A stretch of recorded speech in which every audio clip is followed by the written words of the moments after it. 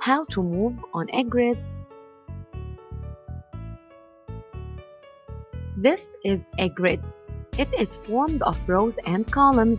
They form a node where they intersect each other. We have a bee that must arrive to its hive. To trace its path on the grid, we need a code which tells us the path it will follow. This code is represented by arrows that tells us the path of the bee to arrive to its hive. The starting point is the place of the bee. The arrival point is the place of the hive. Following the arrows, we notice that the bee will move four times to the right, then three times upwards, and finally two times to the right. Now let's trace the path of the bee. Notice that each arrow indicates a box.